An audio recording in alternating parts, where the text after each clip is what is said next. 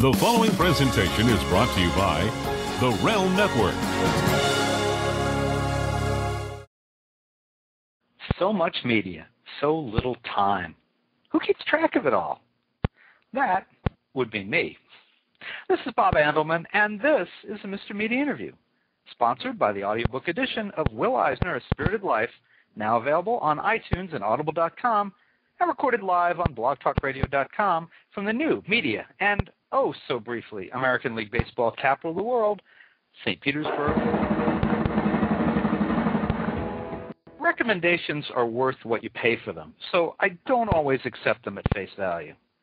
But the same literary agent who turned me on to young adult novelist Sara Zarr two years ago thought I'd also enjoy James Dashner's new young adult book, The Maze Runner, enough that he sent me a copy without first asking. And Michael, who, in the interest of full disclosure, represents all three of us, and I'll point out to the other two that I was his client first, even though uh, there's hardly a bit of similarity between the work of these two authors, you read me pretty well, so feel free to recommend something else. I think three in three years is probably a good pace. Anyway, The Maze Runner is the kind of book that teens and youthful readers of all ages in search of an appropriate follow-up to the adventures to the adventures of Harry Potter will no doubt enjoy.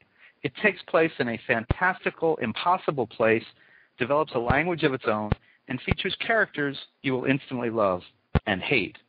I'm sorry, Galley. This is the first book in a trilogy from Dashner, who you may already know as the author of the 13th Reality series. James, you old shucker, welcome to Mr. Media. Hi there. Glad to be back. Uh, are you back? Didn't you interview me Have we before? done this before? Yes, I think Did so we? for the 13th reality. Maybe not. I- Maybe not. My bad. Oops. Oh, that's all right. We'll pretend. Welcome well, you back. do a, you do a lot of them. You do a lot of them. that's true. I'm very very so- excited to be here. Well, thank you. I, I'm I'm I'm delighted to, to to have you, and I want to I want to uh, tell you something. I have read two thirds of the book. I I decided when I got about halfway that I was not going to finish before we spoke because I did not want to be in any danger of giving away something at the end of the story because the Oh. the, the pace about halfway to where I am now has quickened so much that I just thought, in my excitement, I might spill the beans. So I, I just Very need you to know that I'm I'm at two thirds, and I thought that was fair. And I, um, you know, in, in in talking to Sarah on her books, a little bit different dynamic. And here, I just thought, you know, it would be awful if someone tuned in to learn something about you in the book, and I screwed up. So I will I finish the appreciate book that. tonight. I appreciate that. That's yeah, the ending is very important in this book, so I appreciate that. Well, and knowing that there's a second and third book behind it, I thought all the more important. Well, I'd I'd like to be able to like quiz you about those, and I will talk to you a little bit about doing a trilogy. I, didn't want to be in the position of giving something away, so I just thought I'm going to stop here. I think I, I think it. Uh, I I think I've read 275 of I think 359, 360 pages. I think that's Okay. a good a good place for, to do this interview. Great, yeah. Um, Well, now one of the things that, that threw me off when I started reading the book, though, was all the invented language, like you know, shucker and Mhm. other things. Why not Shank. just use standard slang? Shank, thank you. Um, griever. Uh, why not just use standard language uh, or curse words?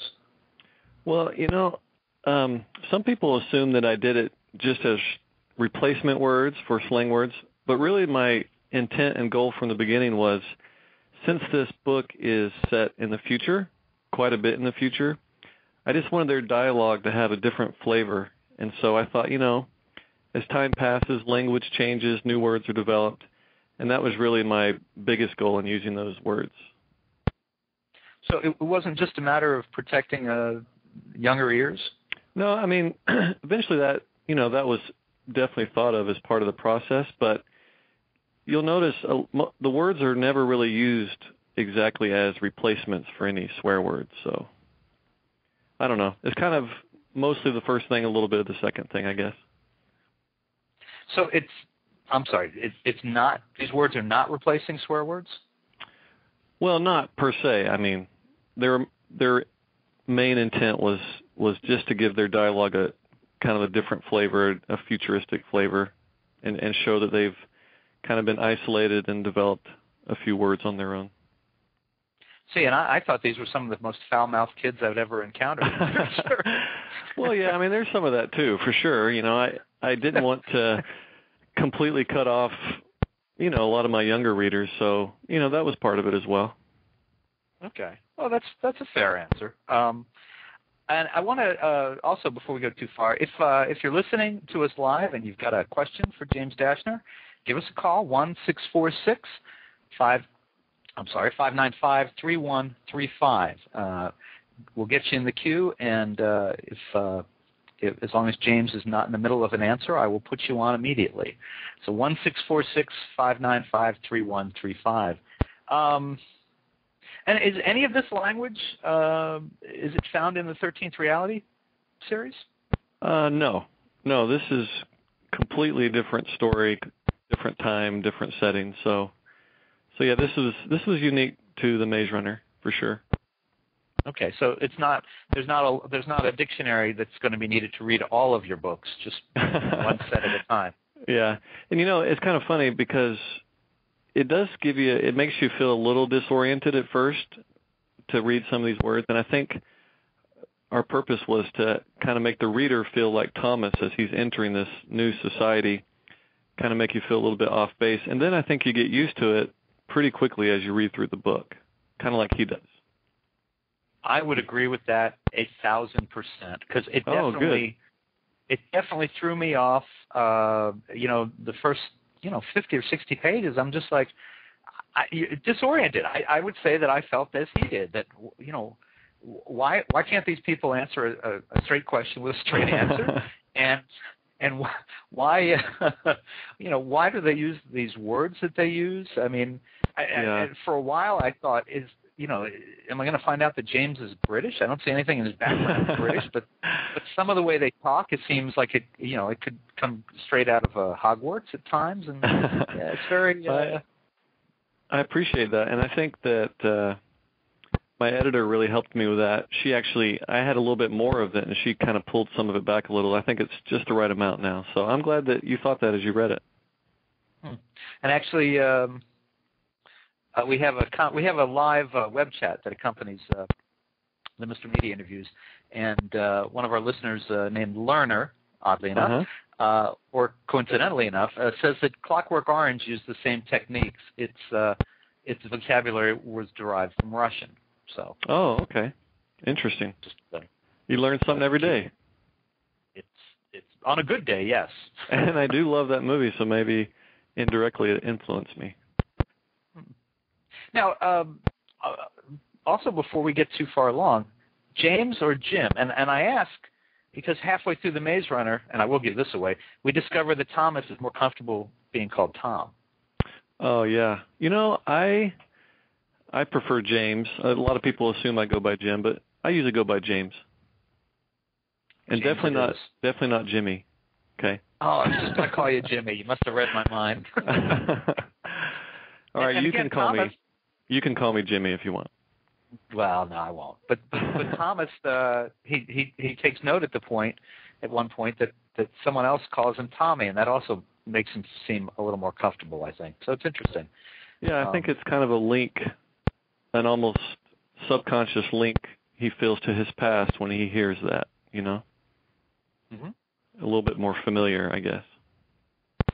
What is it that kind of inspired this type of book from you? It's you know, it has a language. It, it's a it's a very different kind of story. hmm Uh, you know, uh, you can get. I I would imagine some young readers would get very upset and frustrated with what's happening to some of these kids. Yeah, it's it's definitely a darker story than I've ever written before. I think it was influenced by a lot of things. A couple of books I loved growing up uh, were Ender's Game and Lord of the Flies, Mm-hmm. and I think kind of the tone and feel of those books came into this one. And I've also always had a love for dystopian, apocalyptic type fiction, and just the idea that you know there's this even if it's a slight possibility, the possibility that there's this future that exists where these things could actually happen and so kind of all that went into it, and I just wanted a really good, solid mystery adventure, uh, you know, story that had a lot of depth to it. And I think it was influenced by the show Lost as well. So that's kind of all the things that helped me lead to it, I guess. Kind of a real uh, dark potpourri. Uh, yeah. yeah, you know, I've really enjoyed all those things I mentioned, and and this is kind of, you know, they're mostly indirectly, but all those things led to the creation of this story. Now, I wonder if uh, early on in the story, if I missed some direct hints of this, but uh, you know, for quite a while at the beginning, it wasn't clear to me that this was taking place in a society where there was a lot of where there was any technology, and then suddenly we we learn about you know how how the uh, the runners and and the uh, the shanks and how you know how they how they get their supplies and mm-hmm. that they have I think they have a dishwasher and you know suddenly it's like oh and then you know when you see the and, and this is where I'm, I'm trying to tread lightly here you see the descriptions of the grievers and and suddenly you realize that there might be some technology involved there mm-hmm. um, but uh, you know for quite a while reading the book starting in I wasn't convinced that this was a technological society that they were kind of spun oh. off from but then yeah I, I missed something early on no it's probably you know another kind of along the lines of of Thomas learning about the place, you know, as he does, learning along with him.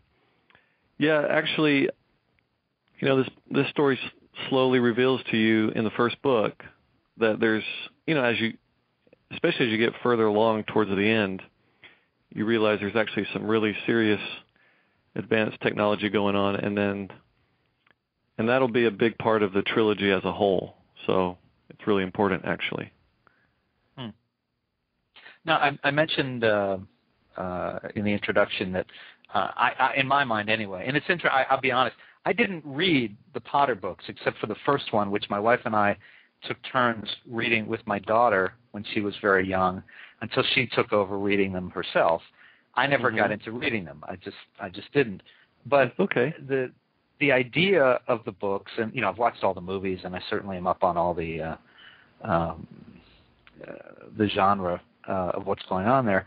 But it just seems to me that for someone who loved that stuff and wishes there was more of it, this fits in. Now, the reason I mentioned about the technology, though, is in that world, the technology, as we think of it, only exists in the outside world. It doesn't exist in Hogwarts and, and their mm-hmm. world. Uh, and I wondered if it was, you know, if there's a, a conscious effort, uh, you know, maybe to differentiate what you've done, or just, you know, to to be involved with some technology and just basic stuff.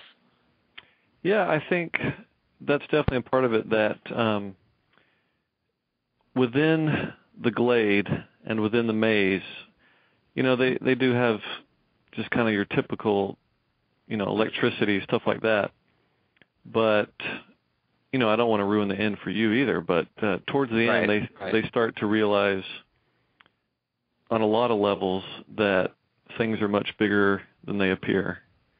And uh, I, mean, it's it's yeah. not like a virtual reality world or anything like that, but but there's a lot going on behind the scenes that that they don't really realize until they get towards the end.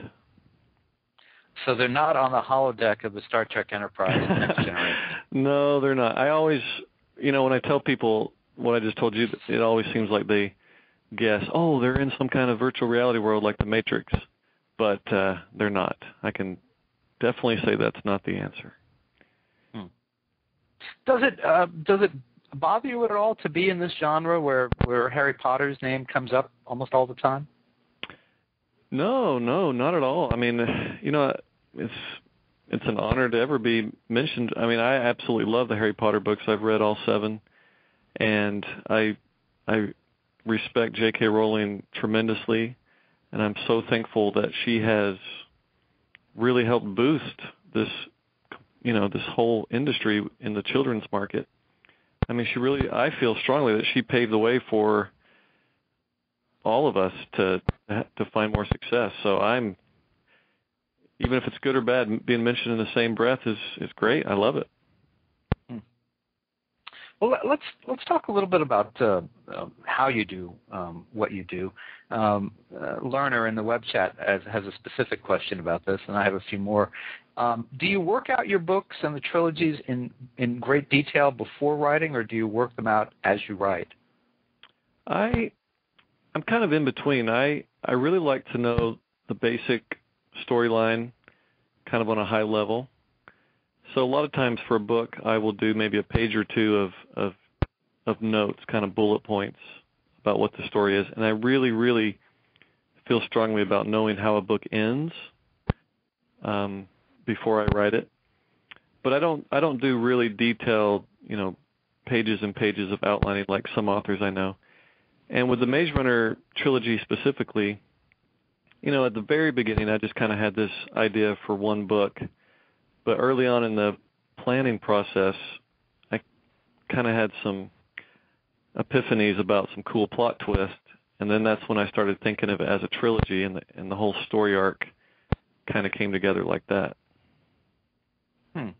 So I'm kind of in between. I I don't just write off the cuff, but I don't do very very detailed outlines either. Okay. And how long, you know, the Maze Runner, for example, which uh, is not your first book. You have the the other series going. How long did it take you to actually write the book from you know conception to completion? Well, it has kind of an interesting story that you know I, I love to tell aspiring writers because I actually wrote the first draft a few years ago, and at that point, you know, I felt like the story was really strong, but that my writing still needed a lot of work. So I didn't work on it. I kind of put it aside for a couple of years, and then I pulled it back out and basically rewrote the whole thing. So I would say that first draft took me maybe three or four months, and then I went a couple of years without doing much, and then it, I spent another few months rewriting it, and uh, and that's it was about a year and a half ago we sold it to Random House. So you know, in literal time, it was three years. Actual writing time, probably eight or nine months. Hmm. That's about average I, now. I think people would be surprised at how much better, especially people who want to write, how much better their stuff would be if they if they worked it out and then they set it aside for a while and came back to it. You can see oh, it a yeah. lot more, uh, you know, independently. Yeah, absolutely. Yes, even if it's just a month, it's amazing when you go back you just can't believe some of the stuff you missed. It's very valuable. Even after it's published, you can't believe some of the things you missed. So well, it never stops. no, that's true. I, I've, yeah. you know, I've I, I work mostly in nonfiction, and, and and I've picked up some of the books I've worked on, you know, five and ten years ago, and I go, oh my god, I can't believe that. That's, oh yeah, I know it's it's so you know, good to hear. Yeah, it's, it just kind it's of good to hear by. that other authors go through that too, because it's so true. Absolutely. um, what, uh, what, have there been any writers who have been uh, who have either you know directly mentored you or you know, directly or indirectly have been helpful and in, in, in guiding you over the years? Definitely, definitely. I I've gotten to know a few fantasy authors like um, Tracy Hickman, who writes the the Dragonlance book with Margaret Weis, and. Lee Modesitt Jr. and and then um, and those guys are have really helped me a lot. Uh, Also, David Farland or Dave Wolverton. I've always Okay. looked up to them, and I and I met them at a few conferences, and they gave me a lot of advice. And then I kind of have a core group of author friends um, that I've met over the years that have given me a lot of moral support and stuff like that. So, and you know, you mentioned Sarah, Sara Zarr. You know, I don't know where I'd be without her because she's the one who who helped me get my agent. So our agent. Our Michael. agent, yeah. Let's, Yes, let's, our let's make sure we're careful on that. Whom you had Yeah, actually, I- first.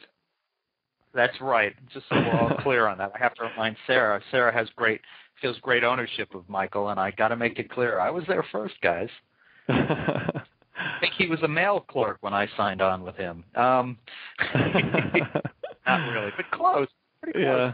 yeah. Um, yeah, I, I just I just understood actually right before we uh, we started the interview that uh, that you and Sarah knew each other and that she had referred you uh, to Mhm. Michael. So kind of a Yes, kind of a small yes. it's a small world in this author community. And uh, how and where do you do your writing? You know, can you write anywhere, or do you have to be in a certain place or I like. I think my probably my defining thing is I like variety. So Mhm. I've we just moved into a new house, and I this is the first time I've ever actually had an office in my house, and so I do quite a bit there. But usually I spend at least half a day if I if I'm having a writing day going to either a cafe or a bookstore or the library or even you know in a chair outside with my laptop just so I, I can pretty much do it anywhere but i do like the atmosphere of a place that has books so you know bookstores and libraries are usually where i end up So you do a lot of writing in the bathroom? Oh, sorry, never mind. well back at, yeah in my house out. growing up that would have been true for sure yeah you know, it's funny as you were saying that that you've you've got a, an office in, in your home for the first time. I was just thinking about how, you know, I've been writing for, gosh, well, let's just say I've owned my own home for twenty some years, and it's actually gone been going backwards. When I before we had a child, I had I had a whole room to myself, and oh then uh, my daughter was born, and then I got moved off to the family room, which became more an office than a family room, but I still had to share it with the household and the dogs.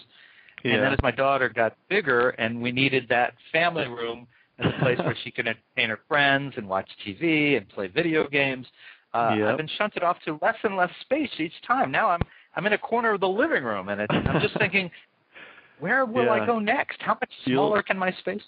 you'll be in the garage next i'm sure no I worry about. Yeah. you know, we we have four kids and and we lived in kind of a little starter home for about 10 years. And yeah, I mean, we had zero space for any kind of working. I never ever worked at home. I'd always go somewhere else.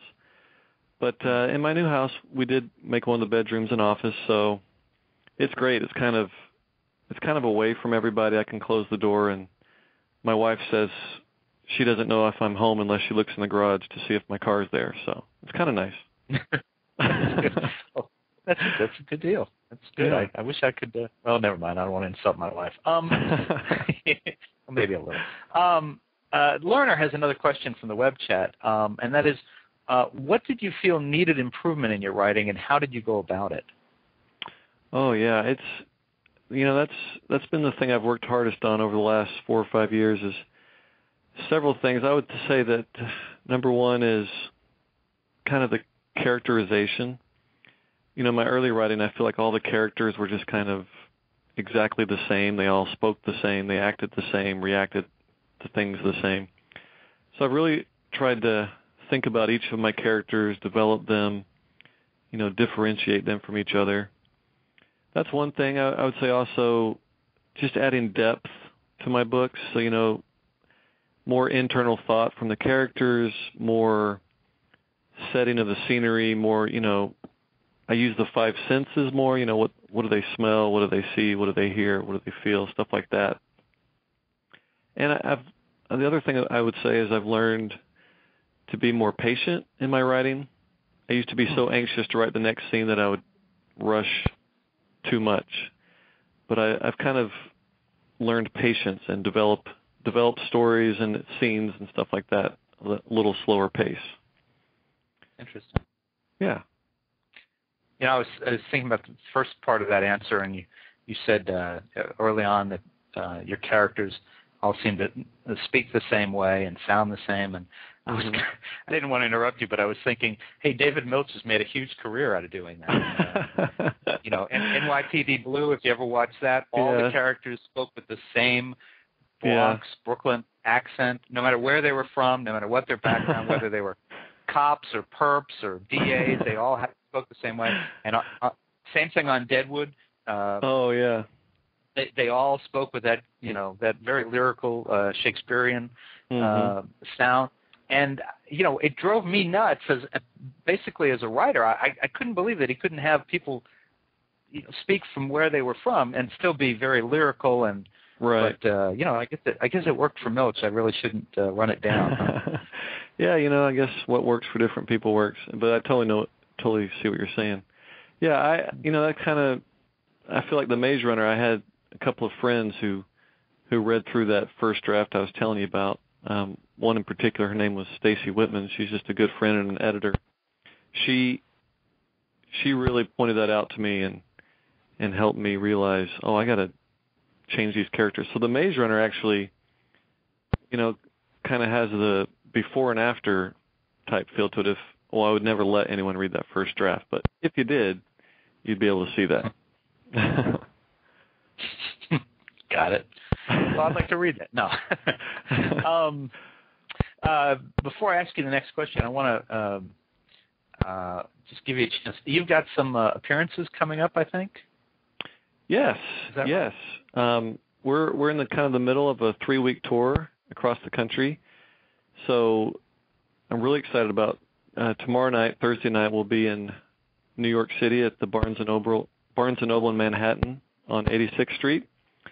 That'll be October 15th for anyone listening to this. Uh, yeah, yeah, it's gonna be really cool because uh, Scott Westerfeld and Carrie Ryan and Michael Grant will also be there. We're kind of doing a post-apocalyptic panel, and it's going to be a lot of fun. And then from there, I'll be going to Washington D.C.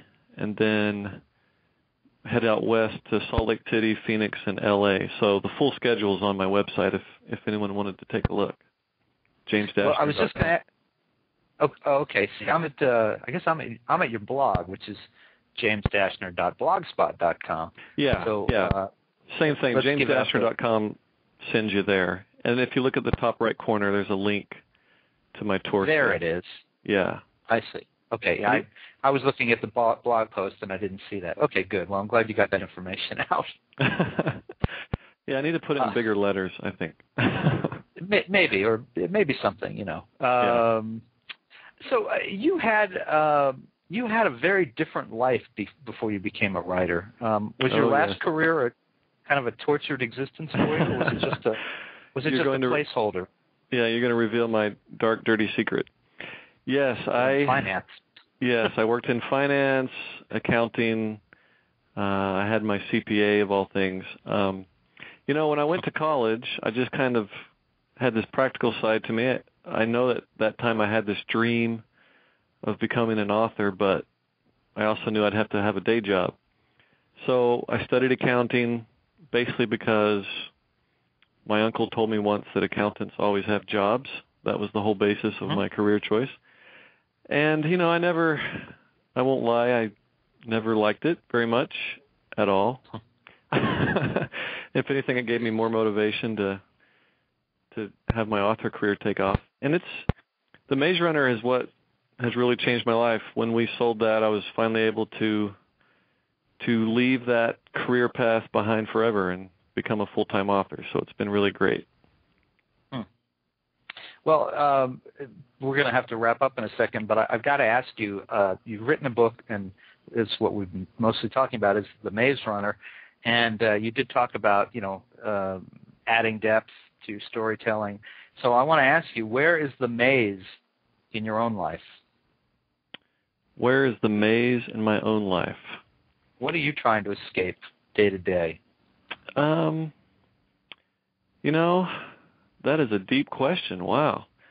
I would say I saved it for the end. I think my biggest issue in my life now, and and our agent Michael could definitely tell you this, is I need to get over this. You know, I just worry too much about my author career, about sales, about reviews, about how the book's being received, and I'm trying to not let that consume my life. And, and Michael's helped me with that a lot. So I'm really su- surprised and kind of pleased with myself that I've I've just had a blast on this tour. I'm not I've just kind of hypnotized myself not to worry about reviews and sales and all that, and just having the confidence that you know I'm pretty much new, so this book will will take time and build, but eventually I, I really have confidence it's going to do well. So I think I've gotten a lot better at being happy and being relaxed as an author. So is that a good enough answer? That's a very good answer. oh, good, good, good, good. Because I, I do mean it. I do mean it. I really well, do mean uh, it. So. Folks, listen. You can find James Dashner's new book, The Maze Runner, as well as his previous works in the 13th Reality series in great bookstores pretty much everywhere, I think, or you can order it online at mrmedia.com, Mr. Media. And you can see James on tour this month, October 2009. Uh, check his blog, uh, jamesdashner.blogspot.com. Upper right-hand corner has a list of dates and places. Uh, or you can go to themazerunner.com. Um, you can also follow James on Twitter at twitter.com slash Dashner, D-A-S-H-N-E-R. And uh, James, it was a lot of fun, and uh, you know, thanks so much for joining us in Mr. Media today. Oh, I appreciate it. Thanks for the opportunity. It was a lot of fun. My pleasure. And you come back next time, and then we'll talk about welcome back. Okay. Yes. Yes. Thank you for that. All right. All right. Best of luck to you. Hey, thanks Thank a lot. We'll very see you. Bye. Bye bye. And folks, for more interviews with your favorite novelists, you can surf over to our main website, www.mrmedia.com. That's where you can listen to my earlier conversations with Sara Zarr, who we spoke about, Monte Schulz, son of Charles Schulz, Peter Golenbock, John Darnton, Suann Jafarian, James Sheehan, and many more. And please think about writing an online review of Mr. Media, casting a vote for Mr. Media, or marking Mr. Media as one of your favorites, whether you listen on Blog Talk Radio, blogcritics.org, TrueSlant, Poynter Online, Digital Journal, Vox, Mediafly, Podfeed.net, Blueberry, Zencast, Zimbio, Current, or Odeo. Subscribe to Mr. Media on iTunes and you'll never miss a show. Just search Mr. Media Interviews from within iTunes and subscribe for free. Or subscribe to Mr. Media's blog on the Amazon Kindle Reader. You can also listen with a piece of string and a tin can in many locations. If you've got an idea for a guest, email me directly at bob at andelman.com. That's A-N-D-E-L-M-A-N. You can also follow me on Facebook or on Twitter, www.twitter.com slash Andelman. Thanks so much for joining us today. Always appreciate when you give up a little piece of your day and come spend it with us. Thanks for listening, everybody.